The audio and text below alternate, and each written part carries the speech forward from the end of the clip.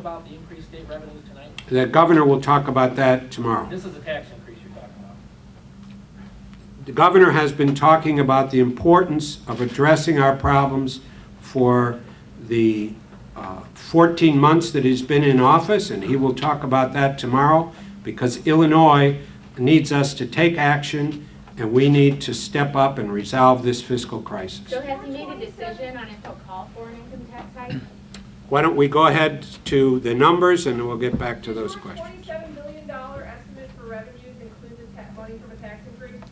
No, So the twenty-seven point four on the FY eleven budget does not include tax. no.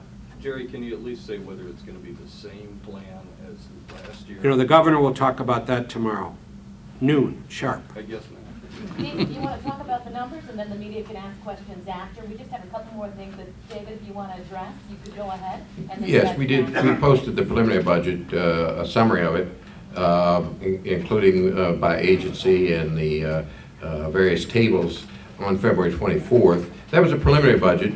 Uh, The governor continued to have us work the budget, make changes in the budget that he thought were necessary. Many of them responded to the comments that we received, as Jerry has uh, has set forth.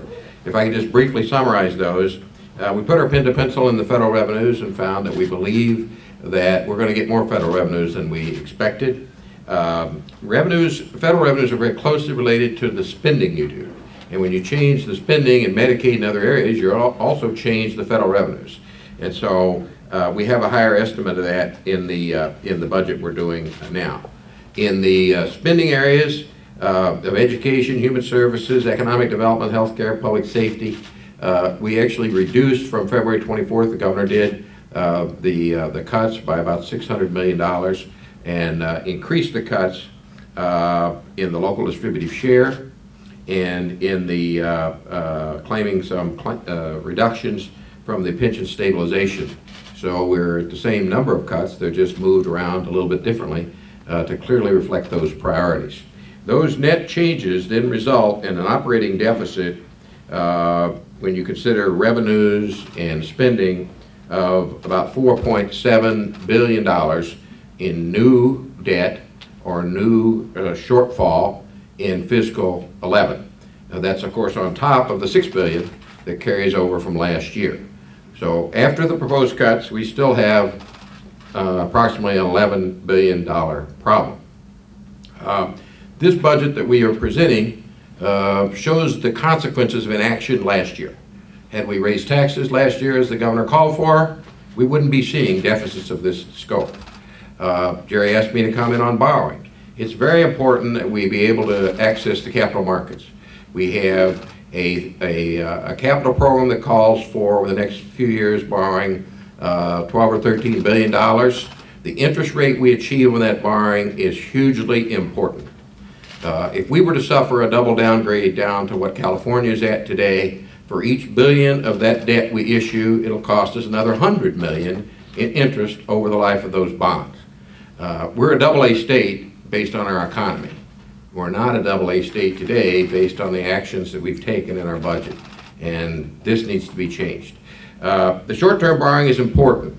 A lot of people that we talk to, and a lot of the comments we got, compare our borrowing, they're skeptical about our borrowing, and they compare it really to their own situations, about their own credit cards. And people today are trying to reduce their own household debt, their own credit card debt. Very often, it's at very high rates, you know, certainly double-digit rates, sometimes over 20%. Sovereign states don't borrow on a credit card. Our last short-term borrowing on August 27th of '09, we paid 1.003%. Uh, It's important that the state use its borrowing tools to help our citizens and help balance our budget. It's one of the five pillars, and that's why we want to continue to use it. But the bond rating agencies and the investors want us to get our house in order. Uh, They want us to balance our operational budget, and they want us to do pension reform. And so the governor continues to call for both of those. All right, you What- guys can ask some questions. What is, what are voucher payment notes? Uh, We We got footnote- one right here, and we'll get back to you. Go We- ahead. Voucher payment notes, we footnoted that in our, in our budget. We said uh, in the footnote, it's a series of notes to pay specific vouchers during the fiscal year. It's really just a series of borrowing techniques. We can use various kinds of short-term borrowing. We can use rainy day fund borrowing of the other funds we already have on deposit in the state that are not in the general revenue fund. Uh, Last year, we proved that we can issue- issue pension obligation notes. We issued 3.5 billion, five-year notes, 3.84% interest. On that 3.5 billion in notes, we got 8 billion in bids.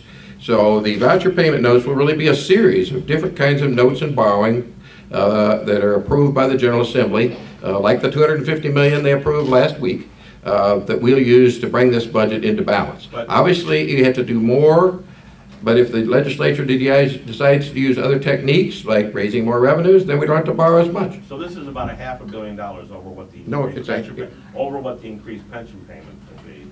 Are we looking at another five-year